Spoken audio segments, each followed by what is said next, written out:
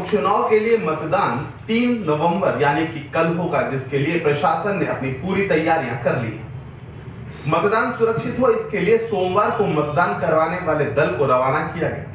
Covid 19 के चलते इस बार मतदान अलग तरीके से कराने का प्रावधान रखा गया है। बमोरी उपचुनाव में कुल 317 पोलिंग बूथ बनाए गए हैं, जिनमें से पंचानवे संवेदनशील की श्रेणी में आते हैं, जिसके लिए तकरीबन 2000 से अधिक कर्मचारियों को लगाया गया है। मतदान केंद्रों पर सुरक्षा की दृष्टि से इस बार लंबी कतारें देखने को नहीं मिलेंगी। सभी के लिए बैठने की व्यवस्था की गई है। साथ ही साथ सोशल डिस्टेंसिंग का पालन करने की व्यवस्था भी कराई गई है। मतदान करने वाले व्यक्ति को मास्क और ग्लव्स पहनना ज़रूरी है।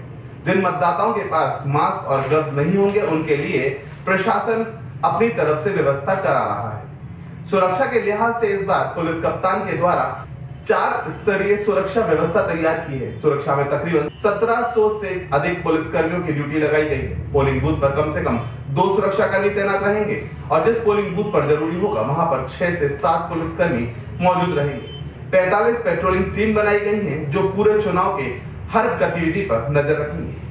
कुल कितने मतदान केंद्र हैं और क्या व्यवस्था है? आज मतदान सामग्री के वितरण का कार्यक्रम चल रहा है, जैसा आपको आप देख रहे हैं। 317 मतदान केंद्र एक घंटे में समस्त पार्टियाँ रवाना हो जाएगी। मतदान केंद्रों पर समस्त तैयारी पूर्ण हो गई है। उनके स्वागत की, उनके यहाँ रहने की, उनके भोजन सत्कार की सबकी पर्याप्त व्यवस्था है। मतदान केंद्र हमारे कोविड के गाइडलाइन के हिसाब से तैयार हैं। हर मतदाता को मास्क मिलेगा, अगर उसके पास मास्क नहीं है। वो ग्लव्स पहन के ही वोट डालेगा। प्रॉपर सोशल डिस्टेंसिंग रहेगी। वहाँ वेटिंग के लिए हमने पर्याप्त जगह बनाई है, कुर्सियाँ रखी हैं, शेड है। तो कोविड के दौरान जो चुनाव है, वो अपने आप में एक नया एक्सपीरियंस है और उस उसके गाइडलाइन को फॉलो करते हुए हमने सारी तैयारियाँ करी उपचुनाव 2020 की बमोरी विधानसभा की तैयारियाँ सुरक्षा के लिहाज से पूरी हो गई हैं और इसमें जो है वो करीब 135 के आसपास जो क्रिटिकल मतदान केंद्र बनाए गए हैं, उसमें से ढेर सारे पर जो है सी की जो कंपनी आई हुई है, उनके लोग लगे हुए हैं।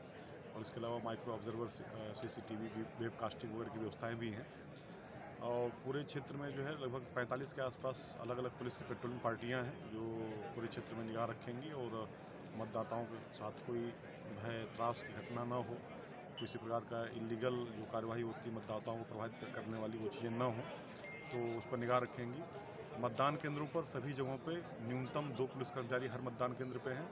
और इसके अलावा जो है वो कहीं कहीं पे जहाँ पे आवश्यकता है वहाँ पे तीन कर्मचारी हैं और कहीं कहीं पे सात या आठ लोग भी हैं। जैसी उसकी क्रिटिकलिटी है जैसी उसकी संवेदनशीलता है उसके हिसाब से वहाँ पे सभी बूथों पर बल लगाया गया है। इसके अलावा जो है आ, हमारे चार गस्टेड ऑफिसर्स हैं इनको चार सेक्टर बनाए गए हैं पूरे विधानसभा क्षेत्र को वो अपने अलग बल के साथ अपने काउंटर पार्ट जो उनका मजिस्ट्रेट होंगे उनके साथ में रहेंगे।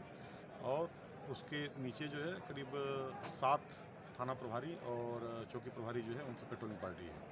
तो ये एक ढंग से त्रिस्तरीय व्यवस्था लगी हुई है पेट्रोलिंग की और अगर मतदान केंद्र को आप लेंगे तो चौथी। तो चार स्तरीय व्यवस्था जो है वो पुलिस की सुरक्षा के लिहाज से लगी हुई है। नाकाबंदी पूरे विधानसभा क्षेत्र की कर दी गई है। अट्ठारह जगहों पर जो है वो नाकाबंदी है, जिसमें पर्याप्त पुलिस बल है। दोनों समय चौबीसों घंटे उपलब्ध रहेगा। राजस्थान बॉर्डर पर और बाकी जिलों के बॉर्डर पर भी इसकी नाकाबंदी